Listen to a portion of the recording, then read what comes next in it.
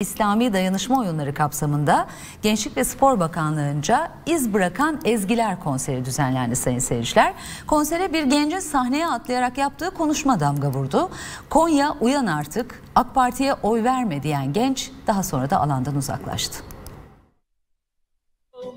Öldüğümde çalgıç Konya uyan artık. AK Parti'ye oy verme.